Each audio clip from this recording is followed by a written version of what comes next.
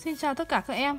Hôm nay chúng ta sẽ cùng học bài luyện tập Trang 52 và 53 Bài 121 đến 125 Bây giờ chúng ta sẽ làm bài 121 Trang 52 Một đoạn đường sắt Hà Nội Hải Phòng, dài 102 km một xe lửa xuất phát từ Hà Nội đã đi được 3 phần 5 quãng đường. Hỏi xe lửa còn cách Hải Phòng bao nhiêu km?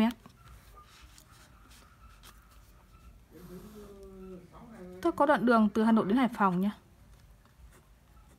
Đây Hà Nội đến Hải Phòng. Là đoạn đường này dài 102 km. Bây giờ một xe xuất phát từ Hà Nội, đúng không?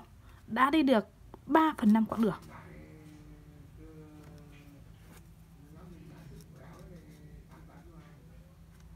Đây, Đã được 3 phần 5 quãng đường, Đúng không? Vậy thì còn cách xe lửa À hỏi xe lửa đó còn cách Hải Phòng là bao nhiêu? Tính cái đoạn này xem bằng bao nhiêu mét. Bao nhiêu km? Đó. Vậy thì muốn biết là xe này đi còn cách Hải Phòng bao nhiêu km thì ta sẽ lấy cái quãng đường này. Trừ đi cái quãng đường đã đi đã đi được, đúng không? Đã đi được. Ở đây là được 3 phần 5 của cái quãng đường 102 như vậy ta sẽ tìm 3 phần 5 của 102 km này là bao nhiêu km? Ta làm bài giải.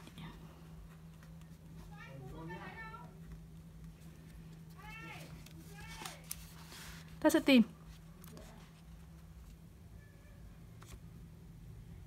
quãng đường, xe lửa đã đi được là.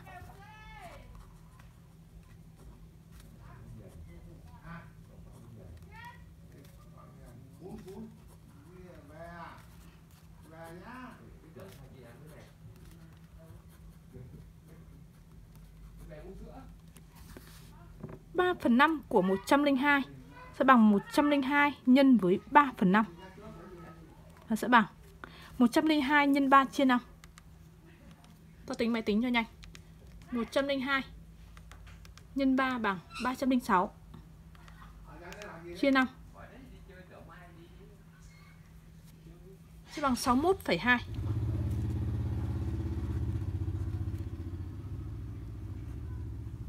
km. Bây giờ tự tìm Xe lửa còn cách Hải Phòng bao nhiêu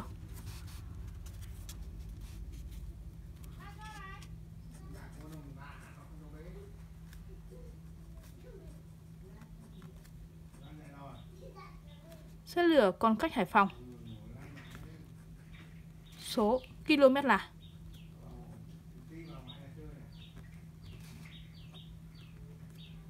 Sẽ lấy quãng đường Hải Phòng Hà Nội là 102 Trừ quãng đường đã đi được là 61,2 Bằng.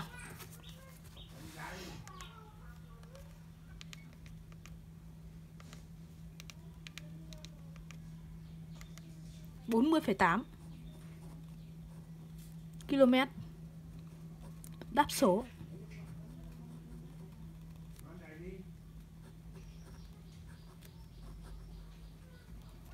bốn mươi phẩy tám km.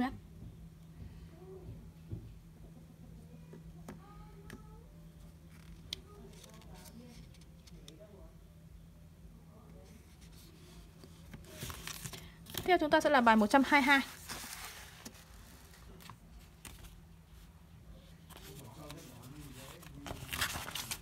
liệu để muối dưa cải gồm rau cải, hành tươi, đường và muối. Khối lượng hành, đường và muối theo thứ tự bằng 5%, 1 phần 1000 và 3 phần 40 khối lượng rau cải. Vậy nếu muối 2 kg rau cải thì cần bao nhiêu kg hành, đường và muối?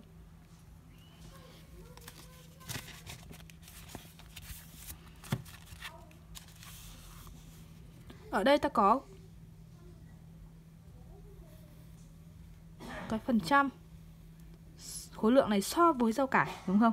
Bây giờ ta phải tính 5% ở đây lần lượt nhé lần lượt là là gì nhỉ? Theo thứ tự là hành đường muối, như vậy ở đây là hành. Một phần một nghìn sẽ là đường và 3 phần 40 này là sẽ là muối. Vậy thì hành sẽ chiếm 5% của lượng rau là 2 kg.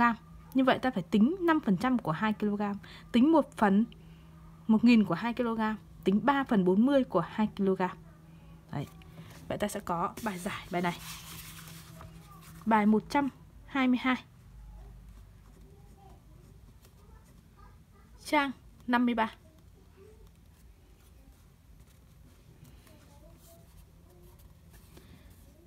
Vậy ta sẽ trả lời là cần số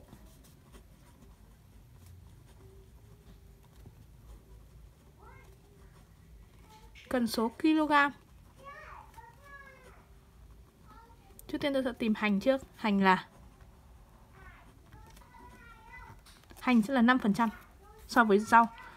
Chính là 5% của 2 kg sẽ bằng tính 5% của 2 kg ta sẽ lấy 2 nhân với 5 phần 100 sẽ bằng 2 x 5 chia 100 sẽ bằng 10 phần 100 10 phần 100 chính là 1 phần 10 chính là bằng 0,1 kg tiếp theo còn số đường là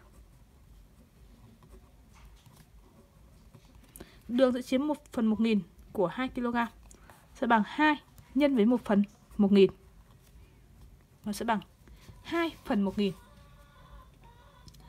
ta lấy 2 chia 1000 sẽ bằng 0,002 kg tiếp theo ta sẽ tìm lượng muối.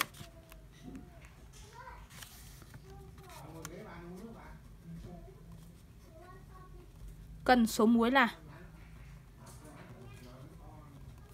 muối chiếm là 3 phần 40 3 phần 40 của 2 kg chính là bằng 2 nhân với 3 chia 40 đúng không? Chính là 2 nhân 3 phần 40 2 nhân 3 chia 40 2 nhân 3 là 6 6 chia 40 Ta lấy 6 chia 40 ra là nhân. Chia ra Dùng máy tính chia ra. Sẽ bằng 0,15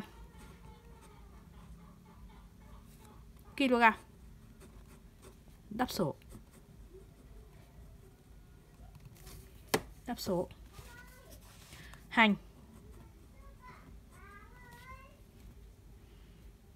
Là 0,1 kg. Đường. 0,002 kg. Muối. 0,15 kg.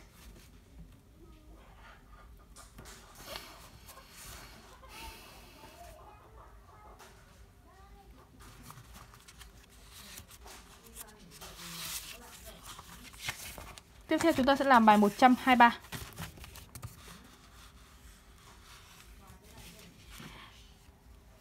Nhân dịp lễ Quốc khánh mùng 2 tháng 9, một cửa hàng giảm giá 10% một số mặt hàng. Người bán hàng đã sửa lại giá của các mặt hàng ấy như sau. Có nghĩa là giá ở gạch, cái giá gạch này đi rồi này. Gạch đi này, chính là cái giá trước khi giảm, đúng không? Còn cái giá hiện tại đây chính là giá sau khi đã giảm 10%. Bây giờ chúng ta phải tính, phải kiểm tra xem người bán hàng đã tính cái giá mới này có đúng không. Sau khi giảm 10% thì cái giá mới này đúng hay sai. Người ta sẽ làm. Tôi sẽ tính 10% ở đây. Đầu tiên là 35 nghìn Giảm 10% Vậy ta tính 10% của 35 là bao nhiêu Ta lấy 35 nghìn nhân với 10% Sẽ bằng 35 nghìn, thêm số 0 nữa, nhân 10 là thêm số 0 nữa.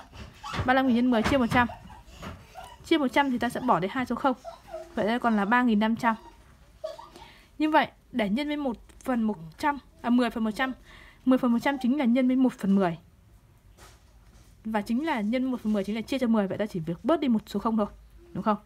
Vậy thì số tiền sau khi đã trừ giảm giá là 10% sẽ là 35.000 trừ đi. 3.500 và sẽ bằng.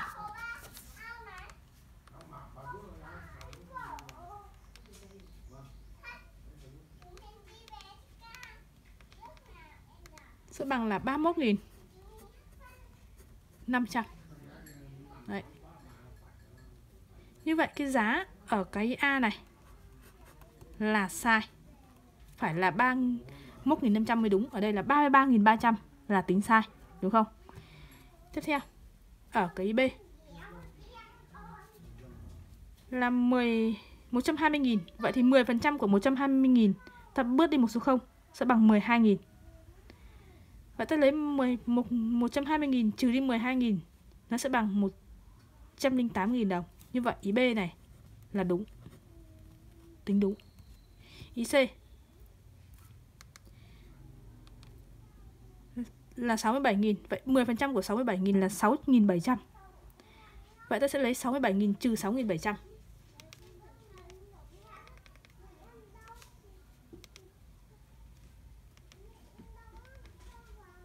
sẽ bằng 60.300 như vậy là ý C này cũng đúng. Ý D là 450.000. Vậy 10% của 450.000 là 45.000. Vậy tôi sẽ lấy 450.000 trừ đi 45.000 bằng 405.000. Ở đây 420.000 là sai.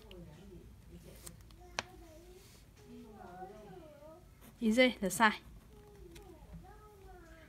10% chính là bằng 45.000 Vậy thì sau khi giảm giá nó sẽ bằng 450.000 trừ đi 45.000 Và sẽ bằng 40 405 nghìn.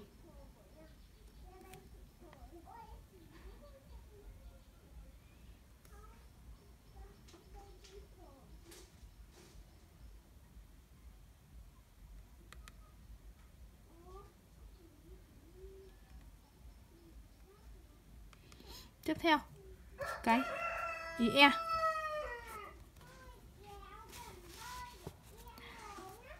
Là 240.000 Vậy thì 10% là 24.000 Vậy thì ta sẽ lấy 240.000 trừ 24.000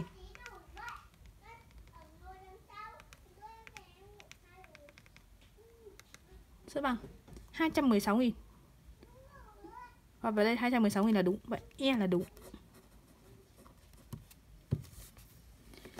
Như vậy đây ta có ý A và ý, ý D là là tính sai Còn các ý còn lại là đúng.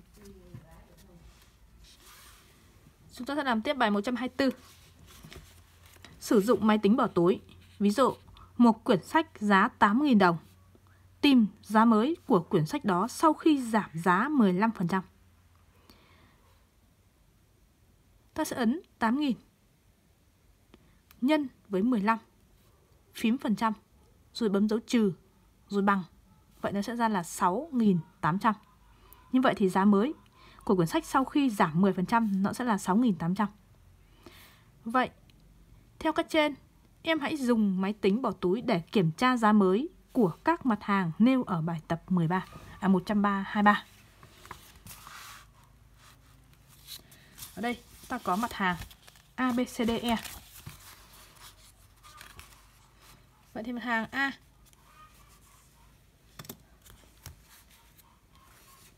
ở đây giá của nó là 35.000 Bây giờ giảm 10% đi thì nó sẽ là giá mới, nó sẽ là bao nhiêu? Ta sẽ bấm. Theo mẫu Là 35 x 10 Phần trăm. Là 35.000 đấy. 35.000 Nha. Nhân. Dấu nhân. Với 10 phần trăm sau ta bấm dấu trừ. Rồi nó bằng. Vậy nó sẽ bằng 31.500 vậy giá mới sẽ là 31.500 ở đây giá là sai. Chúng ta đã làm bài bài 123 rồi. Giá đúng của nó là 31.500 tiếp theo, cái mặt hàng B. Thì giá của nó trước khi giảm là 120.000 120 nghìn. Bây giờ giảm 10% ta sẽ nhân với 10% Nhân 10 Bấm phím phần trăm, Sau đó trừ bằng. Vậy nó sẽ bằng 108 nghìn.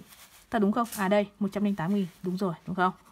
108.000 Tiếp theo, Ở mặt hàng C, Giá của nó là 67.000 Ta bấm 67.000 67.000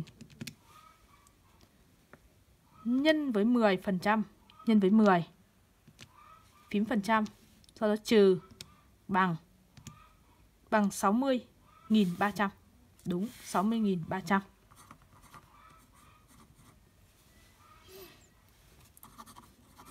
Đơn vị là đầu. Tiếp theo, mặt hàng D là 450.000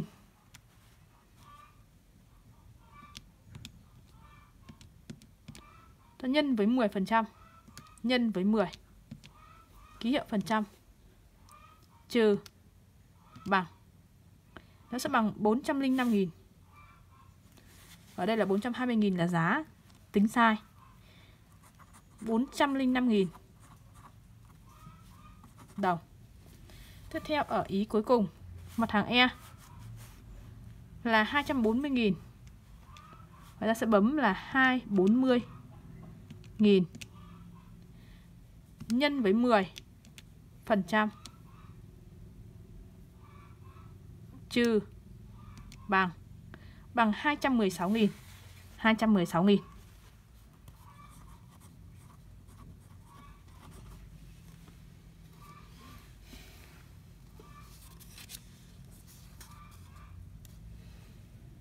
Bài 125 Bố bạn Lan gửi tiết kiệm 1 triệu đồng tại một ngân hàng theo thể thức có kỳ hạn 12 tháng với lãi suất là 0,58% một tháng. Tiền lãi mỗi tháng bằng 0,58% số tiền gửi ban đầu và sau 12 tháng mới được lấy lãi. Hỏi hết thời hạn 12 tháng ấy, bố bạn Lan lấy ra cả vốn lẫn lãi được bao nhiêu?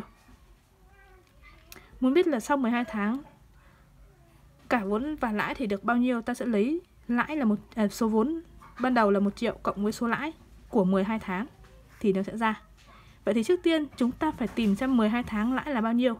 Biết một tháng là 0,58%. Vậy thì 12 tháng thì ta sẽ lấy cái lãi suất của một tháng nhân với 12 sẽ bằng 0,58% nhân 12 thì sẽ ra lãi suất của 12 tháng. Sau đó ta cộng với cái gốc thì nó sẽ ra. Ở bên này chúng ta sẽ làm bài giải.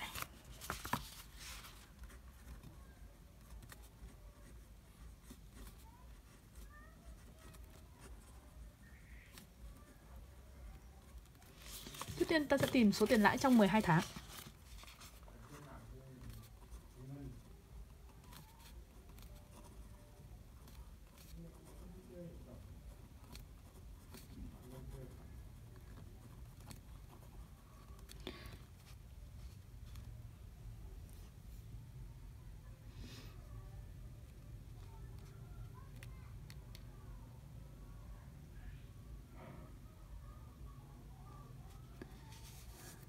Một tháng là 0,58%. Chính như 0,58% của 1 triệu. Chính là 58% của 1 triệu. Vậy thì mỗi tháng lãi sẽ là 0,58 Đúng không? Phần 100 Của 1 triệu Rồi ta nhân với 12 tháng Thì sẽ ra sẽ bằng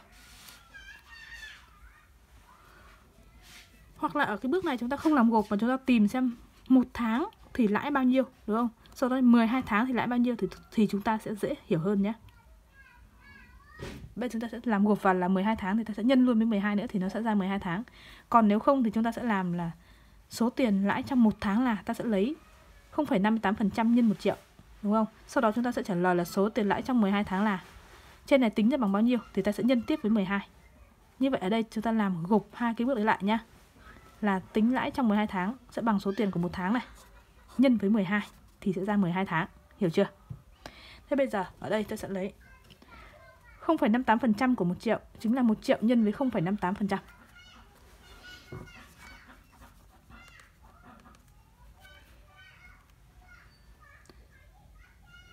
sẽ bằng 0,58 nhân 1 triệu chia 100 nha 0,58 nhân 1 triệu. Sẽ bằng. 580.000 Bằng 580.000 Ta chia cho 100 Bằng 5.800 Như vậy thì một tháng ta sẽ có là 5.800 Bây giờ ta sẽ nhân với 12 tháng. Sẽ bằng. 69.600 đồng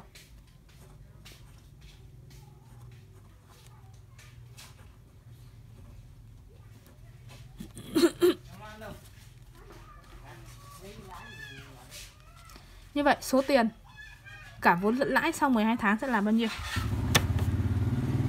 Bố bạn Lan lấy ra cả vốn lẫn lãi được bao nhiêu? Ta sẽ trả lời. Số tiền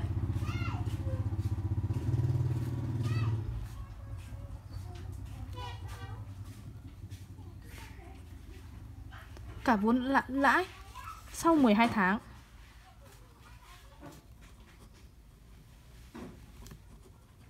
là ở đây gốc là 1 triệu, cộng với lãi 12 tháng là 69.000. 600 sẽ bằng 1 triệu 000 69.600 đồng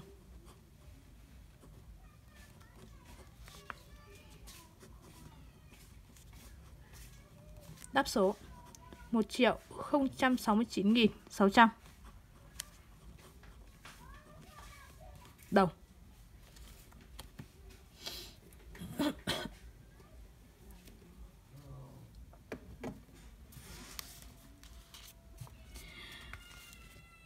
Video tiếp theo chúng ta sẽ làm bài tập của bài 15 Tìm một số biết giá trị, một phân số của nó. Trang 54 54, 55